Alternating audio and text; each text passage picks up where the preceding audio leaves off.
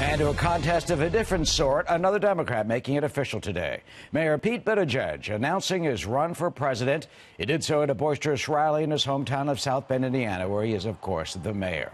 You know, Buttigieg is currently riding a wave of growing popularity in an already large field of presidential Democratic hopefuls, going from a relative unknown to a candidate who, in recent polls, has been in third place, with some seeing him as a very serious contender.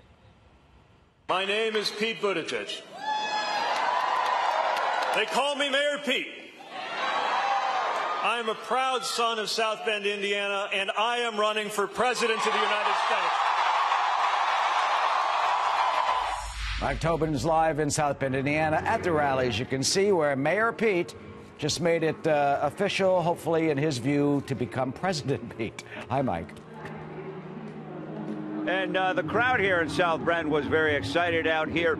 Uh, they pioneered a new three-word chant, boot, edge, edge, as uh, the mayor of South Bend made his candidacy official. Notably very calm and centrist. He pushed a little further left uh, in the course of this speech, uh, suggesting that people are not free if there's mistrust between police and people on the street, if there are restrictions to reproductive rights. He said that security for the United States should not impact children fleeing violence, and he said the uh, greatest security threat to the United States is climate change.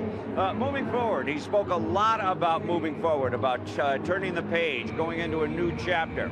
Uh, but he said uh, if he were to look back, he would talk to himself 20 years ago and tell himself on the, de- on the day that he declared his uh, president's candidacy for the presidency of the United States, uh, he wouldn't quite be 40 years old. The headlines would read whether he is rising too quickly, and he would do it while his husband was looking on. Back to you in New York.